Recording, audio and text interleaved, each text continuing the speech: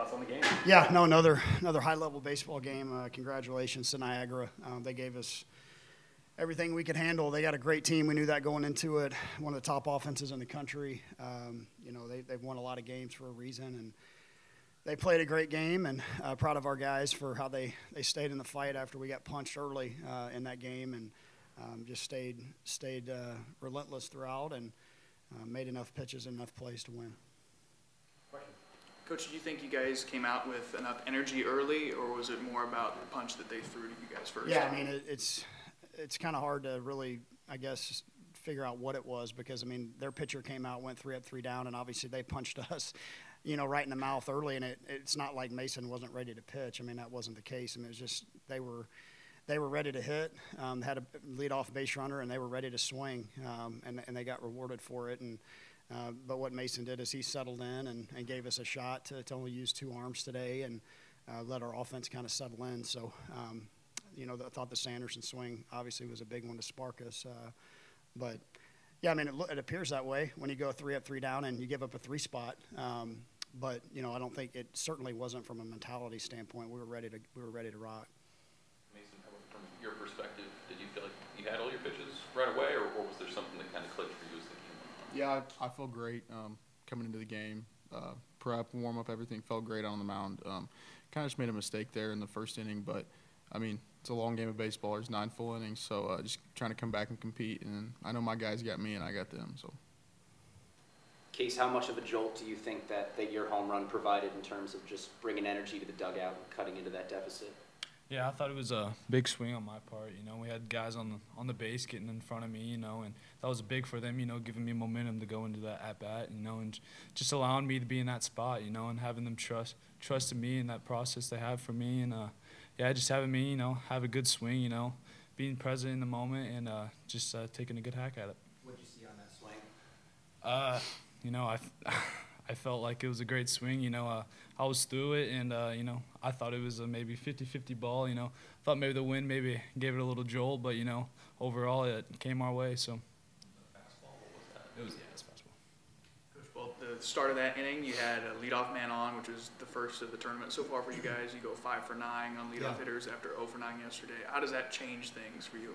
A lot. Um, yeah, that was the first one, and uh, we got even with a fastball. In the first couple innings, we were you know, their left-hander had he had good angle on the on the heater. He was, you know, pretty firm, and he hadn't given up a lot of hits going into it. He hadn't thrown a whole lot, but he hadn't given up a lot of hits. So, um, you know, DC getting even with a fastball sparked us, and um, I believe we hit for the cycle to lead off innings the rest of that game. Uh, a triple, home run, double, and a single um, the rest of that game. So, again, hitting's contagious, um, and you know, just obviously if we can get leadoff hitters on, we get put pressure on them uh, with our run game and our ability to bunt and do some different things. Um, we get some more fastballs for our guys and have a chance to drive some balls out of the park. Will this regional format, was there any thought about starting anyone other than Mason? No. There wasn't, no, because you can't look ahead. I mean, just you just can't because especially as much respect as we had for Niagara and their offense. Um, I mean, they, they put up a bunch of runs yesterday on some pretty good arms uh, for Oklahoma State, and um, ballpark was a little more offensive today too, but no, never a thought. Uh, Mason was our guy to give us the best chance to win, and um, and we don't win that game if he doesn't stay in the fight for us and get us some length. Um, that's what a big horse like him. That's what he can do um, when he doesn't necessarily get off to the best start. You look up and it's one walk, ten punch outs. If he gives any freebies whatsoever throughout that game, probably gets a little more sideways than it did. So um, no, never a thought. How do you assess your pitching tomorrow? I mean, you mentioned a couple more yeah. arms used today for what could potentially be a long day Sunday. Yeah, I mean four four arms in two games. I mean that's that's what you got to have. So, um, you know, we'll talk about who we're going to start tomorrow, um, but we feel like we still got a bunch of guys that are rested and ready. Mason, back-to-back games that you've had double-digit strikeouts. Anything in particular that you think has, has allowed you to hit your stride this time of year? I'm really just trying to trust my stuff, and then credit to Josh Caron behind the plate. I mean, me personally, I think he's one of the best defensive catchers in the country. He makes me look even better than maybe I am. Who knows? But uh, no, really just trying to attack the zone, throw multiple pitches for a strike, and get hitters off off their or off their uh, feet. Mason, kind of what was the mentality when you get punched early, but kind of as Coach Bolt just said, you know, stayed in the fight and productive six innings. Mm-hmm. Um, I have full trust and confidence in our offense. I mean, we're a, uh, a very resilient team, very tough, and um, I understand baseball is a long game. You can't ride the highs, you can't ride the lows. You guys stay even keel. So that was kind of the main message throughout the entire game today, and just go inning by inning and try and get um, each out in each pitch and focus on each one. Coach, there's a lot of talk, I think, around this time of year about pitching. The deeper you get into a, a regional like this one, but you also have to have the run support too. How, how big is what Gabe is providing for you guys this these last couple of games? It's uh, he's unconscious at the plate. I mean, you, you got to have. Um, everybody's got good stuff this time of year, so it, the the big hit can be elusive at times. I mean, there's there's guys that have wipeout stuff on the mound, so um, you got to have slug. You got to have the ability to, to hit doubles and homers and drive runners in from first and have yourself in scoring position when you're in the batter's box. Um, that's what the better better teams have. So that's what he's provided us this postseason, and you've seen you know our ability to have some crooked numbers because of that. Um, but I mean, it, it's he's just been consistently on the barrel hitting fastballs, sliders, and changeups, all the pitches, all parts of the park. Um, it's been really, really impressive what Gabe Swansen's doing. Talk about this team, how resilient it is too. Yeah. The way that yesterday's game went was what like what was the approach and kind of shaking that one off? Was it easier because you guys played well? Was it tougher because of mistakes? How, how did you guys bounce back from that?